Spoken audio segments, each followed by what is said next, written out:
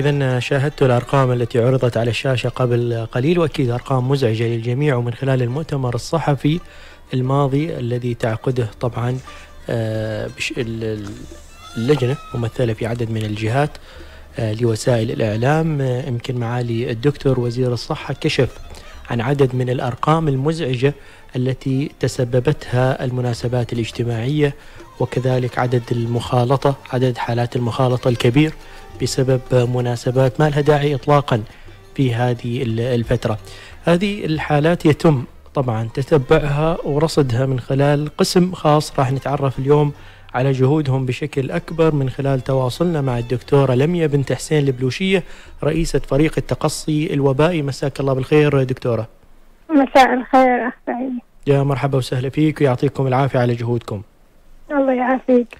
دكتورة قبل لا ندخل في التفاصيل نعرف المستمع والمشاهد عن قسم آه، أو فريق التقصي الوبائي في هذه الجائحة وأهم أدواره. آه، طبعا آه، فريق التقصي الوبائي هو فريق مختص بمتابعة حالات كوفيد 19 المتأكد المؤكدة في محافظة مسقط وكذلك متابعة جميع المخالطين. فطبعا من التعريف التقصي الوبائي هو يعني استسقاء مصدر العدوى لمعرفة مصدر العدوى وسائل الانتشار الممكنة والعوامل المساعدة في حدوث المرض نعم. وتعزيز الإجراءات الوقائية لمكافحة والسيطرة على الانتشار نعم دكتورة تتابعوا كل الحالات؟ كل الحالات طبعا آه، أول ما نستلم البلاغ من المختبر المركزي يتم التواصل مع المريض مباشرة آه في المرحلة الأولى طبعا الهدف من التواصل مع المريض لمعرفة حالات العدوى مثلا هل هي نتيجة مثلا مخالطة شخص مصاب في المنزل أو العمل؟ هل العدوى بسبب وجود بؤرة في أحد مثلا هو يعمل في إحدى المؤسسات وهناك بؤرة في هذه المؤسسة؟ أو هذا المريض هل هو عامل صحي والعدوى حدثت في محيط العمل؟ أو قد يكون مثلا غير معروف السبب. طبعا ولا يمكن تحديده مباشرة آه، سبب العدوى. نعم. بعد ما تجمعوا هذه البيانات والمعلومات كلها دكتورة من الشخص المصاب ما هي الخطوة التالية؟ أيوه. طبعا إحنا الخطوة الأولى إحنا مثل ما تقول المعرفة الأولانية اللي هو نعرف إيش هي العدوى مصدر العدوى. نعم. طبعا في مرحلة ثانية اللي هو حصر المخالطين. بعد ما نخلص حصر المخالطين في بيئة المنزل يتم حصر كذلك المخالطين في آه، مكان العمل أو مقر العمل مثلا. آه طبعا آه في مقر العمل لابد من وجود زيارات ميدانية إذا كانت هناك أكثر من حالة في موقع العمل في بعض المؤسسات. نعم. حيث أن هناك بعض المواقع أو بعض المؤسسات المحلات التجارية عندنا مخيمات العمال فيها إصابات أكثر من إصابة عندما نعم. يعني مثلا يصلنا بلاغ أنه في أكثر من إصابة في مكان معين مؤسسة معينة الفريق مثلا يقوم بزيارة ميدانية للموقع وتحديد وتحديد مثلا اللي هو آه تقييم الوضع نعم. هل وتحديد الاشتراطات الصحية الموجودة يتم مثلا هل, هل تم عزل المخالطين ما هي الإجراءات الاحترازية التي تقوم بها هذه المؤسسة؟ هل هي الإجراءات كاملة؟ هل تحتاج إلى إجراءات أخرى؟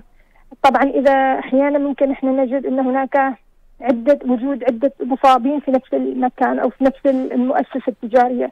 نعم. أو مثلا وجود عدد كبير من المخالطين أو أن صعوبة حصر المخالطين لكون الشخص يعمل في أكثر من قسم.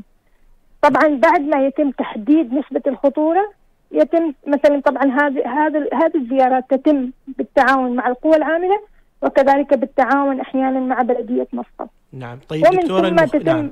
يتم اتخاذ الإجراءات حسب تقييم الوضع. نعم هو هذا سؤالي الإجراءات م. بالنسبة للمخالطين عادة إيش تكون؟ طبعا الإجراءات المخالطين طبعا أهم شيء إحنا عندنا انه إحنا نحد من انتشار المرض.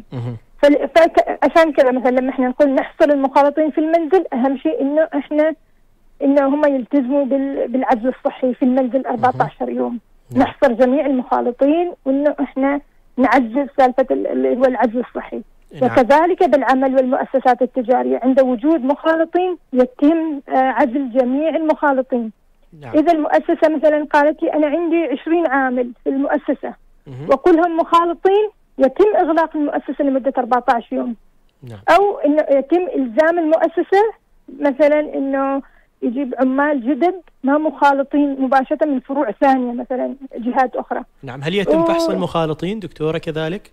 لا إحنا طبعا أول شيء الخطوة الأولى عزل المخالطين 14 يوم. ما في شيء اسمه إحنا نسوي مثل ما تقول سكرينينج أو إن إحنا نشوف نعمل فحص مخبري لأنه نحدد هذا الشخص مريض ولا لا. إذا كان لأن فترة حضانة المرض من يومين إلى 14 يوم قد صحيح. لا تظهر الأعراض مباشرة. إذا الشخص ما عنده أي أعراض يتم عزله ومراقبته يعني يوميا بشكل يومي لمدة 14 يوم. نعم. إذا ظهرت عنده الاعراض يتم توجيهه لمؤسسة صحية للفحص. نعم. دكتورة طبعا من... في في مؤسسات لجأت إنه لا أنا أفحص العمال مالي إذا طلع إن الفحص سلبي ممكن ارجعهم العمل. نعم. طبعا الموضوع ما بهذه السهولة. يا ريت انه بهذه السهولة كنا ما نلجأ اللي هو العزل الصحي 14 يوم لكل المخالطين يعني. نعم. لأن الفحص السلبي لا يعني أن الشخص ما عنده المرض. حتى لو الفحص سلبي في بدايات المرض يمكن هو فترة حضانة الفيروس. نعم. مع ذلك يجب أن نكمل اللي هو العزل الصحي 14 يوم. لذا الحل الأنسب دائما هو العزل الصحي لمدة 14 يوم. 14 يوم نعم بالفعل. نعم. دكتورة من خلال تقصيكم ما هي الحالات التي مرت عليكم وكانت صدمة بالنسبة لكم لاتساع رقعة الانتشار والمخالطة في بعض الحالات؟ آه طبعا آه يعني الحالات كثيرة يعني الحين إحنا في الأسبوع ال 14 منذ بدء الحالات في محافظة مسقط. نعم. طبعا الحالات هي مثل ما قلت لك تتفاوت أحيانا تكون بسبب مخالطة شخص مصاب في المنزل طبعا هذه كثير منها كثير من الحالات تكون إنه عدم التزام الأشخاص والأفراد بالعزل من من ضمن القصص اللي إحنا نجدها إنه المصاب الأول مصاب يبدأ فيه المرض يبدأ في كبير في السن في البيت. ليش؟ لأن الكبير في السن هو الأكثر عرضة للإصابة هو أكثر عرضة للمضاعفات المرض. نعم. فيمكن المرض يكون جدا خفيف آه، في الفئة الثانية لكن يظهر بداية ظهوره يكون في الكبير في السن. نعم لأنهم لما نروح أيوه أيوه لما نروح نتقصى إنه إيش مصدر العدوى؟ نكتشف إنه وجود مثلا بعض بعض الأعراض عند الأبناء وجود بعض الأعراض عند مثلا الأبناء وكذا ويتم فحصهم نجد إن هم مصدر العدوى والعدوى كانت من الأبناء.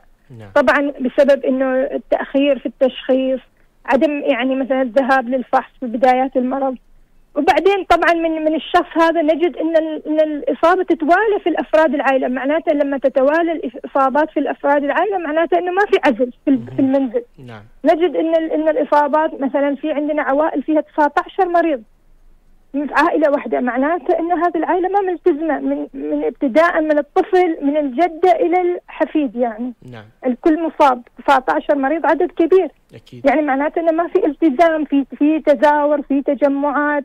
فهذا هو المشكلة الكبيرة نعم. كذلك نجد إن نفس السيناريو يتكرر لدى الشباب عندنا إصابات تبدأ في شاب واحد نجد إن الإصابات تتوالى عند الأصدقاء يعني كل الأصدقاء وعند أه الأهالي يعني اللي هم مال الاصدقاء هذيلا معناته إن نفس الشيء ما كان في التزام بالعدل في هذا في الفئة هذه. نعم. وكذلك الجهة الأخرى نجد إنه في حالات بدأت في بعض المؤسسات وتهاون بعض المؤسسات في الإجراءات الوقائية. طبعا التهاون معناته أنه ما يتم عزل المخالطين بشكل مباشر. نعم. ما يتم طبعا ما في إجراءات وقائية في بعض المؤسسات مثل الإجراءات الوقائية مثل التباعد الاجتماعي آه وجود مثلا آه فئة, فئة بسيطة في العمل والمحافظة على نسبة بسيطة 30% اللي هم يعملوا مثلا فئة بسيطة. هذه الإجراءات لو كانت موجودة من البداية كان ما يصير تفشي في بعض المؤسسات التجارية ولكن نرى أن البعض تهاون في هذه الإجراءات منذ البداية فأدى إلى تفشي هذا المرض طبعا في بعض المخيمات وتفشي هذا المرض لدى العاملين في هذه المؤسسات. نعم تم الاعلان عن أرقام يعني كبيرة بالنسبة لحالات المخالطة وحالات العدوى كذلك بسبب تجمعات العمال في مكان محدد. يعني في في في مؤتمرات صحفية ثانية. آه نعم. آه دكتورة بالنسبة للمناسبات الاجتماعية هل من خلال تقصيكم الوبائي وجدتوا آه إنه إقامة بعض الفعاليات والأنشطة الاجتماعية كان كذلك سبب في انتشار هذا الفيروس؟ إيه طبعا طبعا. إحنا ما هي أبرز هذه هذه يعني الحين إحنا فترة رمضان. م. ونجد انه بعض العوائل لا زالت تتجمع بشكل يومي على الإفطار. في عوائل عندنا تتجمع عائلتين وثلاثه وأربعة. قبل أسبوع كان عندي عائلة طبعا 15 شخص متجمعين على الإفطار. من هاي ال 15 شخص 10 10 أشخاص تم تأكيد إصابتهم بالمرض. من ضمنهم طفل عمره أربعة أشهر ومن ضمنهم امرأة حامل يعني في الشهر الثامن. فللأسف يعني نرى طبعا الشخص لما لما يكون في فترة حضانة الفيروس أو يمكن فترة العدوى يمكن الأعراض جدا تكون خفيفة عنده فهو يكون معدي هو ما يعرف إنه هو معدي فلذلك كان إنه الاجراءات الوقائية وكنا نناشد جميع يعني طبعا اللي هو الحملات التوعوية بالتباعد والتباعد والتباعد الاجتماعي لأن هي كانت من أكثر التدابير اللي هي فعالية لاحتواء التفشي. نعم. يعني من ضمن القصص اللي لا أنساها إنه قبل فترة كانت عندي مصابة اتصلت فيها أول مكالمة وقلت لها يعني تم تأكيد إصابتك بالمرض قامت بالبكاء يعني في التليفون وأنكرت وبكاء وكذا وكذا ليش؟ طبعا هي ما خوفا على نفسها يعني هي امرأة في الثلاثينات من العمر وبإمكانها يعني المرض جدا خفيف ولكن خوفا على والدتها في المنزل لأن والدتها كبيرة في السن ولأن والدتها مناعتها ضعيفة. طبعا أنا يعني آه آه يعني هذه القصة من القصص ولكن نجد أنه الغريب في الأمر في هذه القصة أنه هي هذه الامرأة اللي تخاف على والدتها كبيرة في السن في السن. لما تم حصر المخالطين وجدنا إنها أقامت حفل آه مثل ما قلت تجمع إفطار لسبع عوائل ومن ضمنهم هذا اصدقاء العائلة يعني. فتم آه العدوى انتقلت إلى عدة أشخاص في هذا التجمع في هذا التجمع. نعم. يعني هذه القصص هي للعبرة حقيقة ولنا في شهر رمضان الآن يعني آه، أتوقع عبرة كبيرة في انتشار هذا الوباء لعدم الالتزام وإقامة بعض التجمعات والآن صحيح صحيح. مقبلين على آه، عيد الفطر المبارك أتوقع دكتوره مطالبين الاستفادة من هذا الدرس خلال شهر رمضان. يعني. مثل ما ذكر معالي في المؤتمر الصحفي الماضي إذا كانت تجمعات الإفطار خير فهي في هذه الفترة شر. طبعا وهذا محتاجين نأكد عليه مرة ومرتين وألف مقبلين على عيد عيد الفطر المبارك ونعرف نحن أعيادنا كيف. يعني أيوه صحيح وبالعكس يعني أنا أقول لك إن جميعا يعني إحنا جميعا نشتاق للتجمعات الأسرية. نحن نحن للأيام السابقة طبعا آه، للقاءات الأسرية التجمعات آه، لاسرنا بس ولكن إحنا في ظرف استثنائي الآن في الفترة استثنائيه يعني. نعم. الالتزام في الفترة الحالية هو اللي ممكن إنه يخفض معدلات الإصابة في الأيام القادمة طبعا. نعم. دكتورة آه في ناس ملتزمين جدا وفي ناس طبعا آه متهاونين ومتجاهلين اللي هو الرد ما يحدث يعني والنتيجة يعني أمامنا الآن النتيجة أيوة أمامنا طبعاً. نتيجة هذا طبعا التهاون طبعا الأعداد في تصاعد نعم طبعا, طبعاً أيوة. نعم دكتورة هل صادفتكم حالات يعني أثناء التقصي الوبائي فيها نوع من التمنع أو عدم الصدق والتعاون في الحصول على المعلومات المطلوبة إيه طبعا إحنا ردود الأفعال تتفاوت من شخص لشخص عند الاتصال.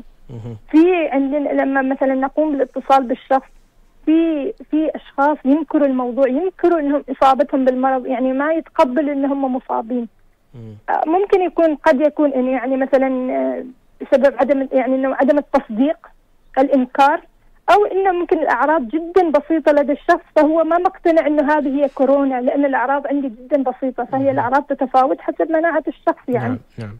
أيوه فوجدنا يعني إنه ردود الفعل راح تتفاوت من شخص لشخص يعني نعم. آه في أشخاص عندهم عدم المبالاة يعني لما أنت تخبرهم عن الشخص ما يبالي okay أنا كورونا okay كورونا يعني تستغرب إنه ما ما في ردة فعل من هذا الشخص. هل هو ما مقتنع بأهمية هذا المرض؟ هل ما مقتنع آه بالمرض بالنفس يعني؟ ولا إيش السبب يعني بالاتصال؟ ولذلك في جهة ثانية تقوم بالاتصال يعني إحنا نقوم مثلا بالاتصال الأول ولكن في مؤسسات يتم توزيع هذه الحالة للمؤسسة الصحية اللي هو المركز الصحي.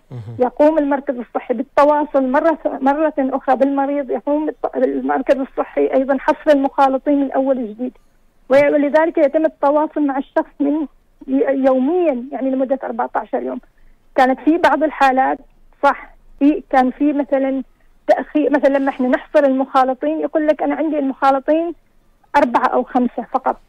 وبعد فترة يجينا مخالطين أصدقاء وكذا يقولوا لا إحنا كنا من ضمن المخالطين اللي كنا معاه قبل أسبوع إحنا من ضمن المخالطين اللي كنا هو ما أعطانا المعلومات كاملة. أو أحيانا آه، مثلا في في فترة جتني مثلا الخط الساخن لوزارة الصحة بلاغ من إحدى المؤسسات إنه أنا عندي إصابة في إحدى الموظفات عندي وبلغتني إن هي مصابة إن هي مصابة بس ما ما تم التواصل مع المؤسسة. نعم. فلما تحرينا الموضوع اكتشفنا إن إن المصابة أو الموظفة قالت لنا انه أنا لا أعمل. أنا في البيت أنا ما عندي وظيفة أنا ما أعمل أنا ما داومت صار لي شهر. ولكن عندما تم التواصل مع المؤسسة اكتشفنا لا إنه هي مداومة كانت مداومة في أسبوع فما أعرف ليش كان في يعني هذا أمر خطير.